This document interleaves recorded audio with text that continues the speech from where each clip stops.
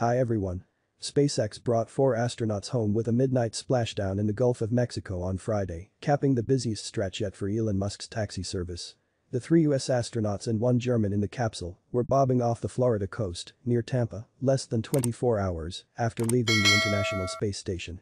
NASA expected to have them back in Houston later in the morning.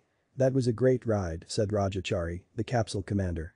As for the reintroduction to gravity, he noted, only one complaint. These water bottles are super heavy. NASA's Chari, Tom Marshburn and Kayla Barron, and the European Space Agency's Matthias Maurer, were out of the capsule within an hour of splashdown, waving and giving thumbs up as they were hustled away on rolling chaises for medical checks.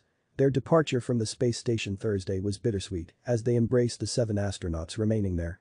It's the end of a six-month mission, but I think the space dream lives on, Maurer said. SpaceX brought up their US and Italian replacements last week after completing a charter trip to the station for a trio of businessmen earlier in April. That amounts to two crew launches and two splashdowns in barely a month. Musk's company has now launched 26 people into orbit in less than two years since it started ferrying astronauts for NASA. Eight of those 26 were space tourists. SpaceX's William Gerstenmaier, a vice president, acknowledges it's a pretty exciting time. Barely five hours after splashdown, the company founded by Musk in 2002 launched a fresh batch of its own internet satellites known as Starlinks from Cape Canaveral. There were 53 of the mini flat panel satellites in this pre-dawn load. Satellites are nice, but flying people are a little special and a little bit different, and the team here sure understands that, he told reporters. There's a sense of relief and, and a sense of accomplishment that you know you've done something good. NASA is more impressed than ever, given SpaceX's unprecedented pace. The only problem of note in the latest flight was a mechanical nut that wiggled loose and floated away from the SpaceX capsule following Thursday's undocking. Officials assured everyone it would not pose a danger to the space station. Look at all this work in the last month, said Kathy Lueders, NASA's Space Operations Mission Chief. I really want to personally thank SpaceX for just, wow, just performing such seamless operations on all those missions.